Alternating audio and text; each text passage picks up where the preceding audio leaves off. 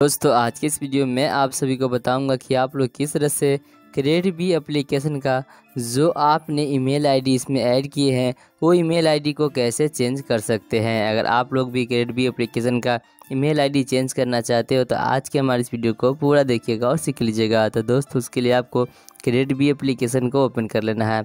Open करने के बाद आपको इस तरह के होम पेज देखने को मिल जाएगा। तो आपको ऊपर में एक ऑप्शन देखने को मिल जाएगा प्रोफ़ाइल का। सिंपली से आपको प्रोफ़ाइल के ऊपर क्लिक करना है। इसके ऊपर क्लिक करने के बाद यहाँ पर आपको सेटिंग का ऑप्शन दिख जाएगा। सिंपली से सेटिंग के ऊपर क्लिक कर देना है।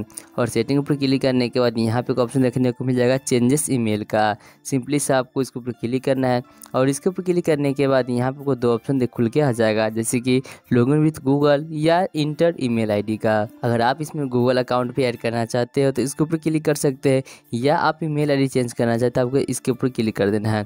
जैसे आप इसके ऊपर क्लिक कीजिएगा तो आप यहाँ पे जो भी ईमेल आईडी अपना नया वाला रखना चाहते हैं, वो वाला ईमेल आईडी आपको यहाँ पे ऐड कर देना है। तो चलिए मैं वो वाला ईमेल आईडी यहाँ पे ऐड कर देता हूँ। और ऐड कर देने के बाद क्या करना है? कंटिन्यू के ऊपर क्लिक कर देना है। और जैसे ही यहाँ पे आप कंटिन्यू के ऊपर क्लिक करेंगे तो यहाँ पे आप देख सकते हैं कि आपका जो भी ईमेल आईडी इसमें ऐड हुआ है, उस ईमेल आईडी पे आपको ओटीपी भेजा जाएगा, जिस ओटीपी को आपको यहाँ फिल कर देना है, उसके बाद सबमिट के ऊपर क्लिक कर देना है। और जैसे सबमिट के ऊपर क्लिक कीजिएगा तो आपका क्रेडिट बी एप्लीकेशन में ईमेल आईडी ऐड हो जाएँगे, यानी कि ईमेल आईडी चेंज हो जाएँगे। तो दोस्तों, कुछ इस तरह से क्रेडिट बी एप्लीकेशन में ईमेल आईडी चेंज कर सकते हैं। तो चेंज करना सीख लिए तो वीडियो को लाइक कीजिए और हमारे इस चैनल को सब्सक्राइब कर लीजिए।